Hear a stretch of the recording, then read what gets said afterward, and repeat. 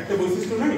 বন্যা সহিষ্ণু করা লাগবে? আমার হচ্ছে এমন করতে হবে যাতে হচ্ছে যে, লবণের মাটিতে হতে পারে। হবে। বাই নেচারে এটা হয় ইন্টারনেট জোর করে এটা দিয়ে হচ্ছে।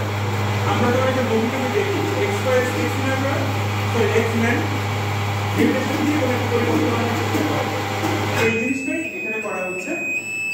এবং এটা করতে যে এখান থেকে যে বীজটা আমরা বের করছি, এটাকে আমরা প্রথম যে এখন আলাদা করে ট্যাগিং করে আমরা মাঠে লাগাবো।